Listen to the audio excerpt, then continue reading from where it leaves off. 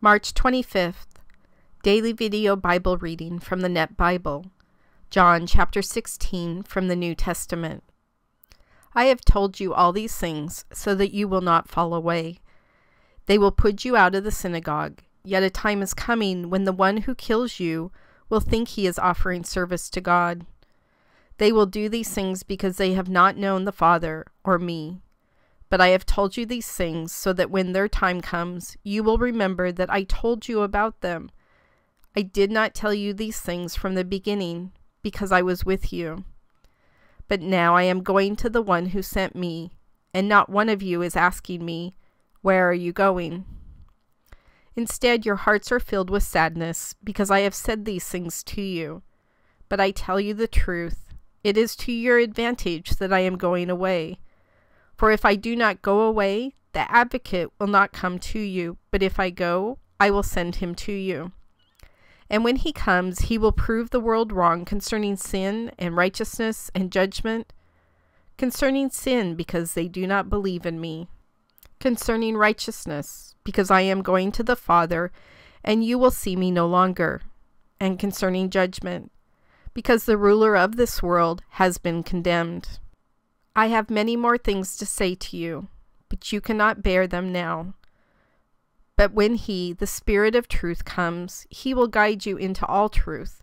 For he will not speak on his own authority, but will speak whatever he hears, and will tell you what is to come. He will glorify me, because he will receive from me what is mine, and will tell it to you.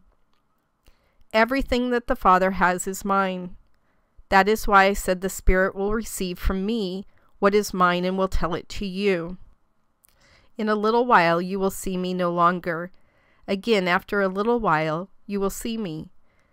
Then some of his disciples said to one another, What is the meaning of what he is saying? In a little while you will not see me. Again, after a little while you will see me. And because I am going to the Father? So they kept on repeating, What is the meaning of what he says? In a little while, we do not understand what he is talking about. Jesus could see that they wanted to ask him about these things, so he said to them, Are you asking each other about this? That I said, In a little while you will not see me, again after a little while you will see me? I tell you the solemn truth.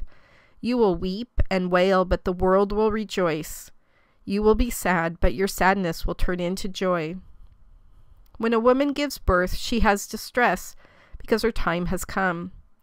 But when her child is born, she no longer remembers the suffering because of her joy that a human being has been born into the world. So also you have sorrow now, but I will see you again, and your hearts will rejoice, and no one will take your joy away from you. At that time you will ask me nothing.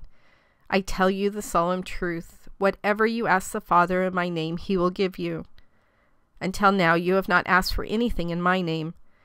Ask, and you will receive it, so that your joy may be complete. I have told you these things in obscure figures of speech. A time is coming when I will no longer speak to you in obscure figures, but will tell you plainly about the Father. At that time you will ask in my name, and I do not say that I will ask the Father on your behalf.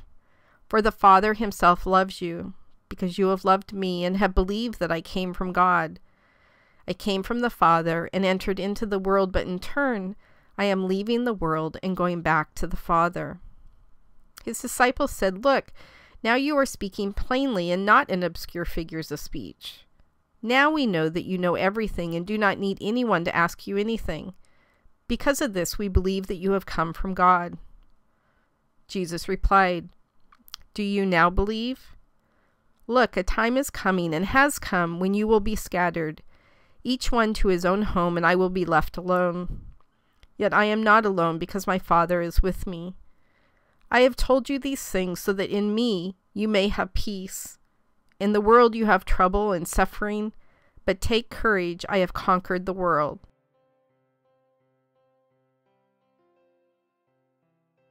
God, thank you for sending the Holy Spirit, the advocate, to come and live inside of our hearts, to help guide our paths and to show us where to walk and what to say, to be that voice inside of us.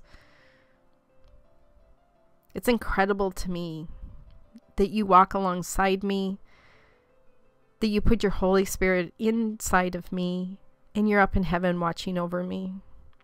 It's a lot of attention for just one of your children, and I know you do it for everyone who is listening. God, thank you for taking such incredible care of us, for loving us so much that you want us to walk in the light and to not fall away to the temptation of the darkness. At the end of this chapter, your son talks about having conquered the world. I don't want any part of the world to affect me, yet I know it has to in some way because I live in this world, but I don't want to live of the world, God. I just want my world to be all about you. Holy Spirit, just guide my steps today. Allow my words to be pleasing to you, my thoughts to be honoring to you, my actions to glorify you, and that I love other people as you have shown me how amazingly you love me. In your Son's name I pray. Amen.